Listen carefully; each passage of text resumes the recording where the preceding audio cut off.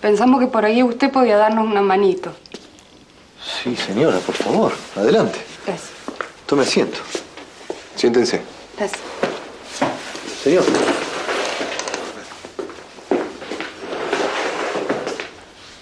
Ahora sí, díganme en qué los podemos ayudar.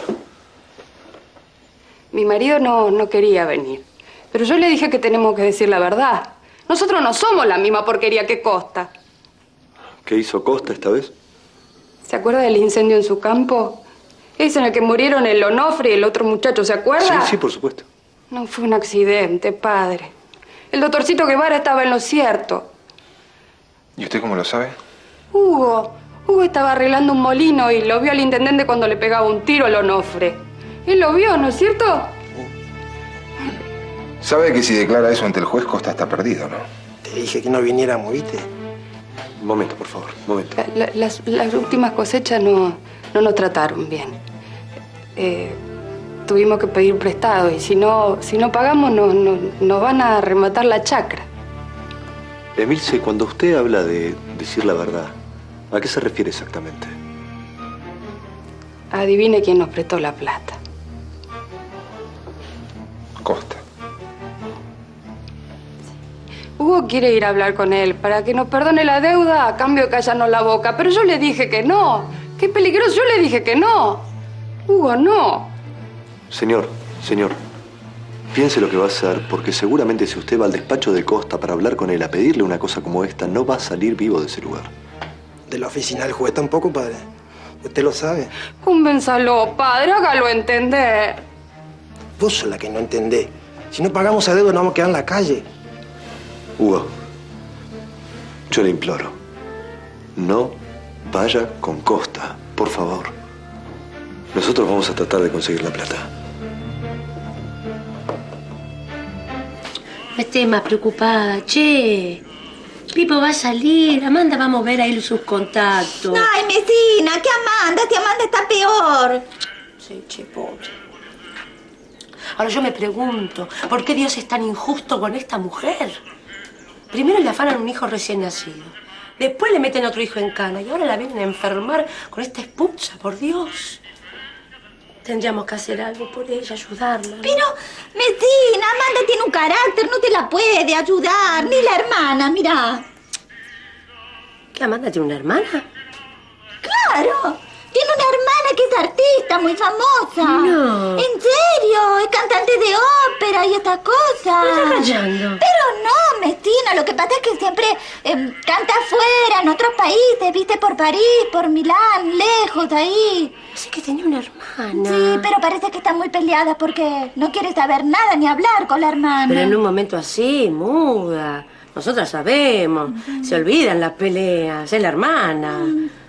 Aunque si está tan lejos, ella al juez. No, pero ahora está en Buenos Aires, es porque vino a cantar acá. ¿A qué teatro? Eh. A, ¿A cuál? A este de. como es, la Santa María, la niña, la pinta. ¿cómo El? Colón, El Colón. muda. ¿Y bueno, la llamamos ahí? No, nos mata. Nos va a agradecer, Sonsa se va a poner contenta. Pero después de matarnos, Betina, estás loca. No, consigamos el teléfono del teatro. Vamos al grano, Manuel. Vos no viniste hasta aquí solo para darme tu apoyo por lo de Pipo. No. Me enteré de algo siniestro, Amanda. Algo que me hiela la sangre. Ah, vamos. Si vos no tenés sangre, querido. no, pero, no, en serio, ¿de qué te enteraste? María Julia no murió de una enfermedad como yo creía. La envenenaron. Uf, ¿estás seguro de lo que estás diciendo? ¿Y por qué me miras así? Supongo que no pensarás que fui yo. No fijas, Amanda. Vos la mataste, ¿no?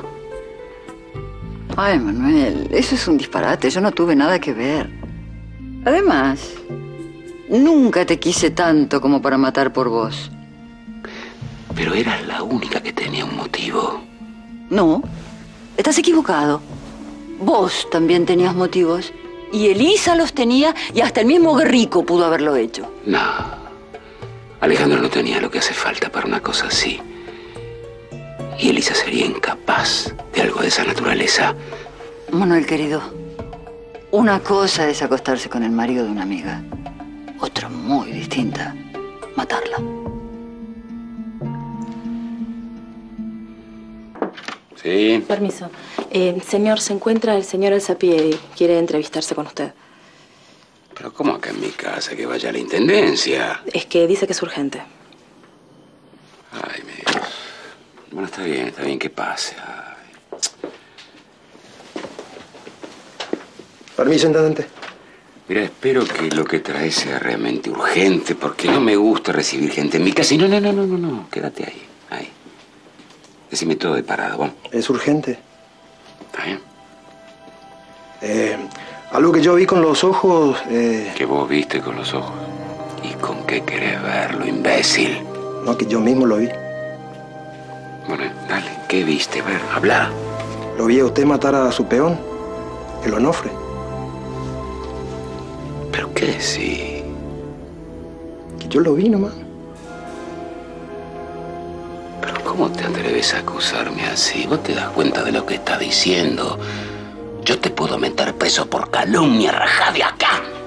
Métame, don Costa, pero todo el mundo se va a enterar. Pero mira lo que me haces, pedazo de bruto. Yo que te ayudo a tener un rancho, me venís a joder con calumnias. Yo no le estoy encaluñando a don Costa. Yo le estoy diciendo lo que yo vi nomás.